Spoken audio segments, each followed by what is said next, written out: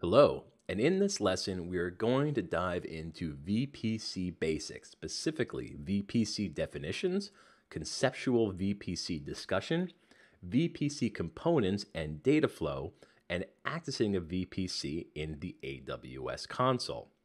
So I'm actually going to start with that last part first. So over here in the AWS console, to access your VPC and use modifier change any of the various things we're going to talk about in the next few lessons, just scroll down under networking and click on VPC.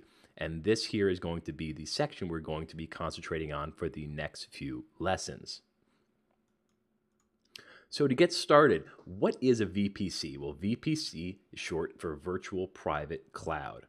And here I've provided a simplified definition and an AWS definition for the simplified definition, this is really more how I want you to conceptually think or understand VPCs for the purposes of just kind of learning what they are and for the purposes of this lesson. And then we'll talk about the AWS definition, which becomes a little bit more advanced. But for the simplified definition, a VPC is a private subsection of AWS that you control, in which you can place AWS resources such as an EC2 instance and databases you have full control over who has access to the AWS resources that you place inside of your VPC. Now, with the AWS definition, Amazon Virtual Private Cloud or Amazon VPC lets you provision a logically isolated section of the Amazon Web Services cloud where you can launch AWS resources in a virtual network that you define you have complete control over your virtual networking environment, including selection of your own IP address range, creation of subnets, and configuration of route tables and network gateways.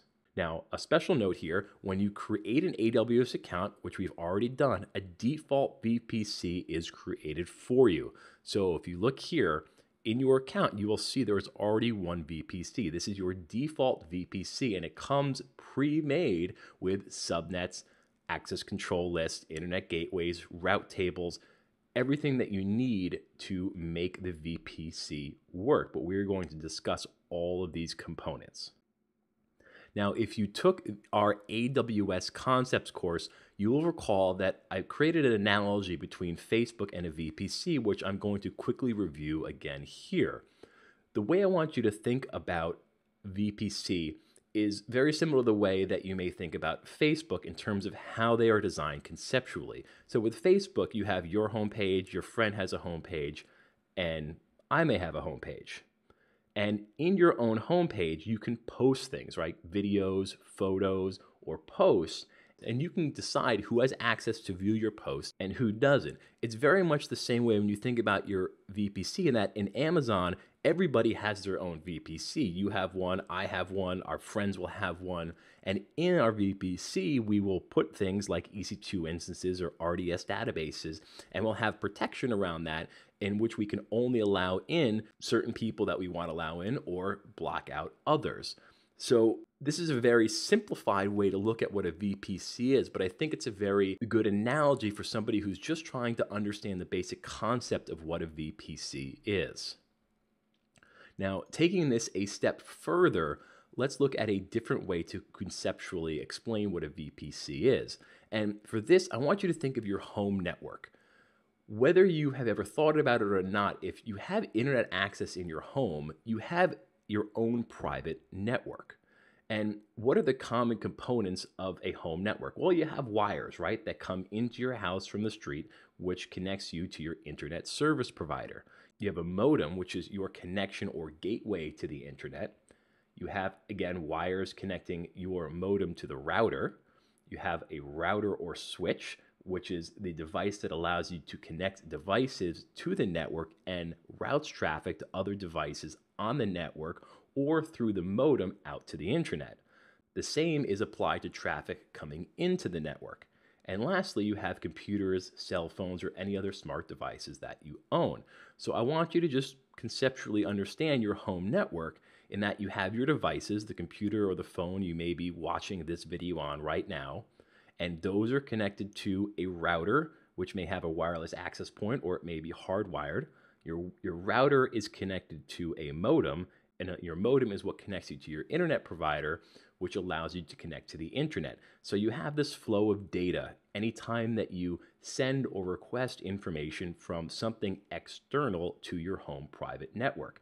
But your home private network is private, meaning that nobody can get onto your home network unless they have your passwords to access your router and connect to your network. So now let's look at a couple of examples of scenarios with what might happen if certain parts of your home network were to become disabled. So if you were to remove or disconnect the cable, DSL, or fiber modem that you have that connects you to the internet, well, then internally, you can actually still communicate with devices using the router. The router itself does not need an internet connection to allow one computer in your network to talk to another. So you can share files between your computer and your phone using a router without ever having an active internet connection. However, if we switch that around and your wireless or wired router was disconnected or disabled, you would actually still have an internet connection coming into your home or your private network because the modem would still be connected to your internet provider, but your phone but your computer or phone would have no way of actually connecting to the modem. So you need every one of these components in order to have a fully functioning working network that has internet connection. So now let's reorganize this information into something that looks more like our VPC diagram on our main page. So here we have the internet information flows through and connects to our cable DSL fiber modem, which is the entry point into our home for our private network. That is then connected to our router or switch, which then provides the route to the various devices that we may have connected. And for a lot of us without even realizing it, we do have a firewall in place, which is a level of security within our private network. So, with this image in mind and this understanding of our home network, now let's take a look at what the components of a VPC are. Well, if we kind of switch back and forth really quickly here, we're going to see some very similar things. So first, the internet up here is the same. Then we have our cable DSL or fiber modem. And now we have, for our VPC, an internet gateway. Next, we have a route table, and that replaces our router or switch. Then, instead of a firewall, there is a network access control list. And instead of a laptop or cell phone, we have EC2 instances. So I make this comparison because I want you to be able to easily conceptualize what's going on here with a VPC.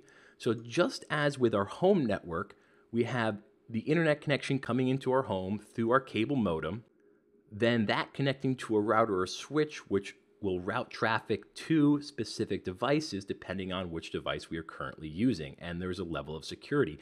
It's the exact same thing in the VPC. And I just want you to really have a good picture of this in your head of the way that data flows. So let's pretend that this is our computer that we're using. If I want to access a website, I'll type in the URL. It's going to send the information out through the route table, through the internet gateway out to the internet. It's going to get that website, and then information is going to come back in through the internet gateway through the route table, and the route table is going to tell us which computer to go to, and it's going to pass through the security layer and then back to that computer. So there is a real similarity in terms of just basic simplified architecture between your home network and a VPC. So again, to sum this all up, it is your private section of AWS where you can launch and provision AWS resources and control all aspects of it just like you do your home network. So let's make a couple of notes here. So again, when you create an AWS account, by default, a VPC is created for you, including the standard components that are needed to make it functional, including the internet gateway, a route table with predefined routes to the default subnets, a network access control list with predefined rules for access, and subnets to provision AWS resources in, such as EC2 instances. So everything here has already been made for you by default, except for these actual instances. These have not been created yet. But the entire infrastructure, all of these components, all of the way that the data flows from the internet into your VPC and back out again is already there for you to use. So, with that, we will conclude this lesson. Thank you for watching. You may now move on.